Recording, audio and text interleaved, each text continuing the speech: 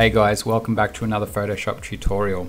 Today we're going to be focusing on changing facial structure and body shape in order to make very small changes that have a, a, huge difference on the look of the photo and the attractiveness of the model. Sometimes models don't quite have the look you want, but you'll be surprised with some very easy changes. You can make a big difference. Also, we're going to be making this very, uh, very soft and dreamy look with this photo. So we're going to, I'm going to go through how to enhance photos and give that very soft, dreamy look. And also we're going to be using some other tweaks and techniques to enhance this photo in a very easy way, but it'll have a massive difference. So these are things that you can take away and use in your own work. And um, yeah, so let's get started. Under profile, go to browse and look under camera matching and you can find the profiles for your camera. So I shot this, I believe, in portrait. Yeah, so that looks a bit better. Well, that looks like what I'm expecting. So I select portrait. Now I'm going to make some tweaks in Adobe RAW here to get the look that I want.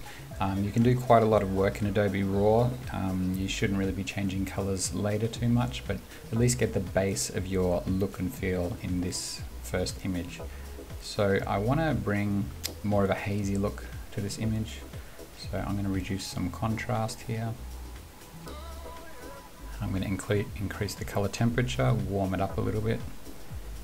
And I like, in this example, I like a little bit more pink rather than on the green side. So just to give it that kind of more of a dreamy romantic type of look. We can bring up shadows. Too far otherwise I'm starting to lose a lot of contrast. I might try increasing some vibrance. I think that's plenty. Let's go ahead and open this up. So the first thing that I want to do is get straight into using the tool Liquify. I want to use this to change the facial structure first, duplicate the layer. I always like to keep a backup of what I'm working on. Now we're going to go into Liquify. Now, we're going to work on the face to start with. Now she's already pretty, but there's a few things that we can do, very small changes, to make a dramatic difference. Now, I've studied a bit about, well, I've learned a bit about facial structure and how the development of the face can define attract attractivity, attraction, you know what I mean? So one of those things is the positioning of you know the jawline. We all are fairly familiar with the jawline, but also the the teeth, the front of this face, um, how forward or backward it is. So in this case, I'm going to bring this lower portion of the face forward a little bit and tuck up the chin a little bit to make a more feminine jawline. So let's start with that. And I'm just going to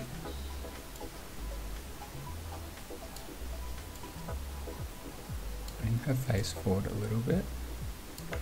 Up that. So very small amounts. So I've brought this, the front of the face forward, and now I'm going to be lifting this chin very slightly.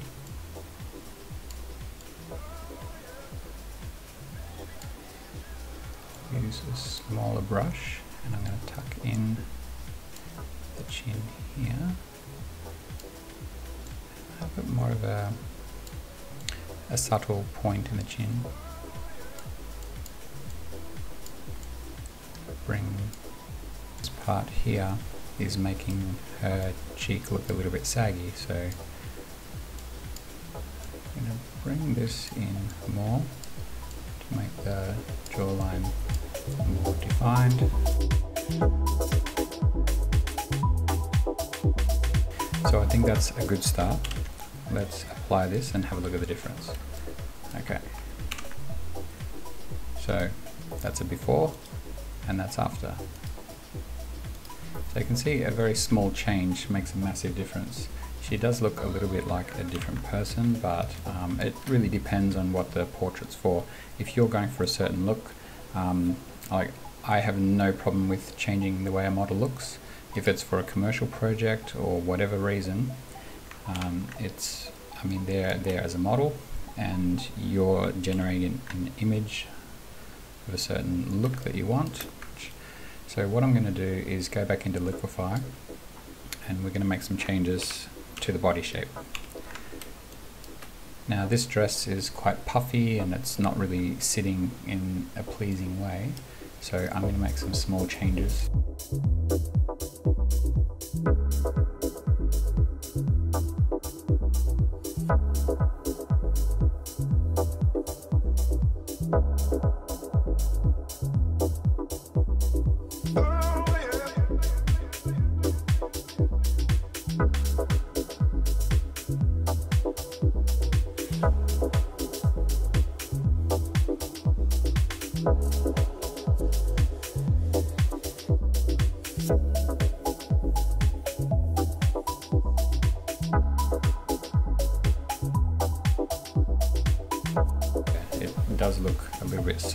Around here, but I think that's fine for now.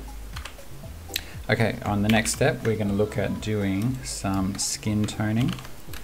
So there's a quite a hot spot here. Uh, when I photographed this, I did have a source light over here filling in the shadows. And sometimes, depending on the model's makeup, you can get some hot spots. So we're going to deal with that right now. So I'm going to duplicate the layer and duplicate it. No, let's keep this first layer first and I'm first going to remove some of these blemishes. Again, I don't really care um, about offending a model. Like if she was offended I remove some freckles and um, you know, I give her a copy of the photo with the freckles still there. But generally I remove them because I'm after a certain look in a um, in an image. It's it's like art, you know. You you're after a look. It's not nobody cares if it's accurate or not accurate. I don't think a model would be offended, and yeah. So I'm just using the healing brush tool. If you're not familiar, you just pick a source location, click there, somewhere with texture matching where your destination is. So we select some texture there and then we go over the, the spot and yeah, remove some of these. So if you haven't already, go and check out my tutorial on um, editing skin and I go into a lot of this in detail, but I'm going to go over it a little bit faster in this one just not to bore you if, if you already know how to edit the skin. Okay, so we have a layer here with those edits and we're going to call that soft and we're going to duplicate that, call this one detailed. Now this soft layer is going to be our blending layer that goes behind the textured layer or detailed layer. So we're going to go blur Gaussian blur and we want to blur this by about maybe 11 or 12 let's go 11 and we've blurred this that's going to be our, our softening layer. Our detailed layer we're going to get image apply image. And we will choose the source as soft. And the blending on subtract scale to 128 assuming you have an 8-bit image. So go OK and now we set this to uh, linear light. So these two layers kind of like the bottom layers but they're they're split into two. So what we're going to do is we're going to blend all of this tone in the soft layer and we're going to use that actually we're going to have a 10 pixel feathered selection. So we're going to select some of this area that we want to blend. We'll start with the cheek. So that's got a 10 pixel feather and we're going to do a motion blur. And we're going to do it in an up and down direction or whatever direction works. Turn up this distance and if you look in the preview you can see it's softening all of that. Probably a little bit too far, I'll bring it down to about 60 yeah, and you can see that softened that whole that whole cheek. And apart from that, I think the rest of the skin's looking pretty good. We're a little bit dark in there. I'm gonna, that's a little bit of a high spot there. All right. Let's do another one.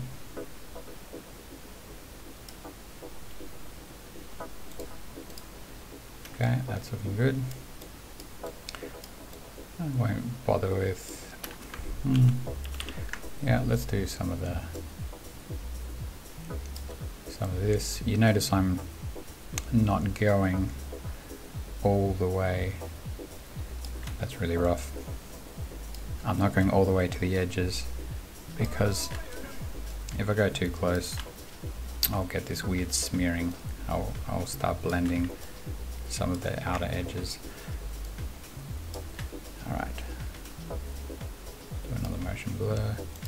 So you can see that's got a nice, just adding a really subtle softening to the skin. You can see the before, you can see it looks a little bit sweaty, a little bit hot spots, and, and after. Okay, all good. There's Photoshop tutorial, so go and have a look at that in detail, but basically I, I add some green into this area using curves and it will help balance out that sort of dark purple area.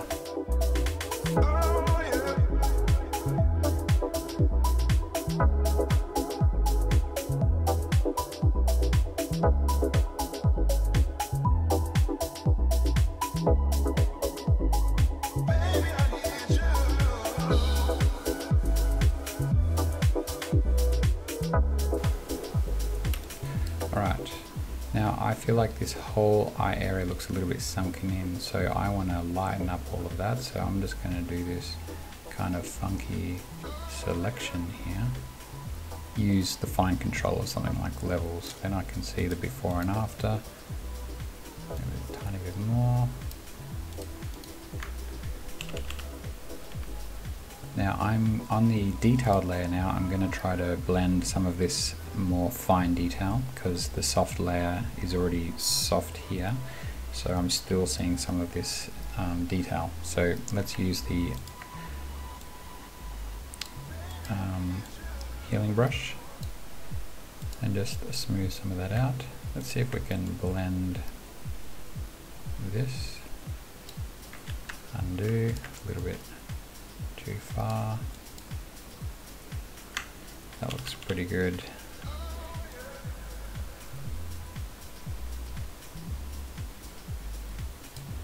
Gonna select that area. Use levels again. Just lift up that highlight a little bit more. It's not quite as round as I want it to be. Again, I want more here lift up that highlight. The good thing about using levels is I'm still retaining, well, I'm retaining texture, but it's it doesn't really matter in this case. But if you're using it on a regular flat photo, you're better off using levels, working on existing texture. I'm gonna blend out this edge here. There was still a bit of a line there. Yep, that's looking smooth now. So I've used a combination mostly of the soft layer, but I've needed to use some of the detailed layer. So we've got a very, very nice soft looking skin now. So what I'm going to work on now is some of these flowers.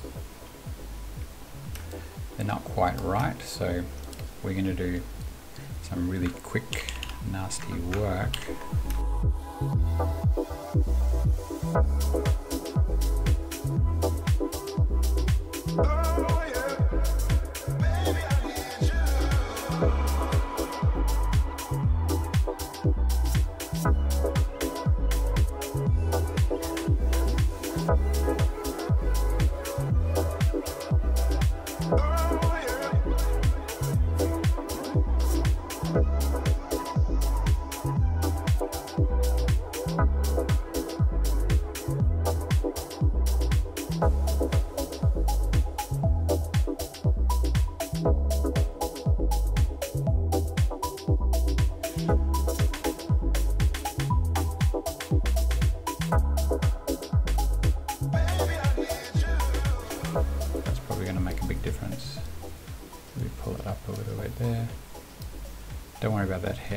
Fix that later.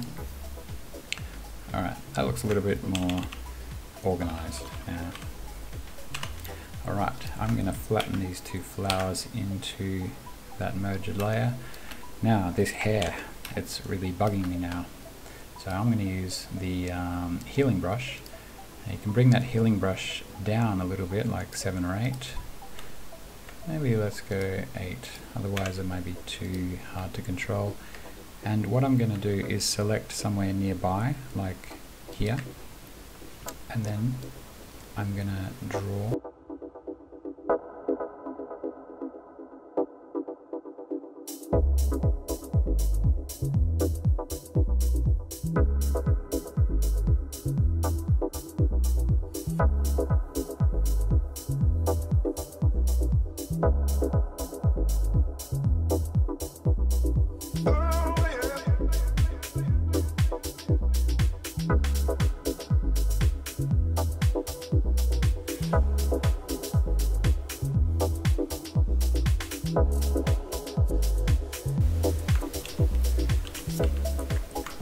So there we go.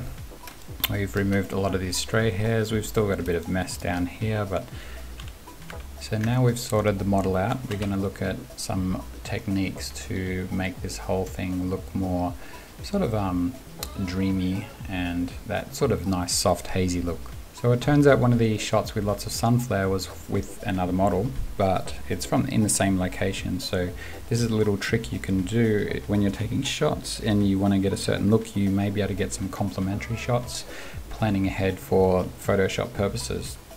I kind of did this by accident and I just thought it's actually going to be really useful in this case. So I'm going to open this up. I will add a little bit more haze no, you know what? I think that's that's okay. I think that's good as it is. Uh, I might remove some texture. Alright. So we got this image. I'm going to copy that, close it, paste it on top here. And what I can do is add a layer mask to hide this layer. And then I can start to paint in some of the edges of this flaring. I'm going to start from this edge more. You can see I've got some of the other model there. So I'm going to have to be careful.